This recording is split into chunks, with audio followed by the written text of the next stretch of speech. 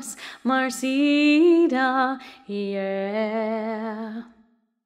One happy birthday dot com.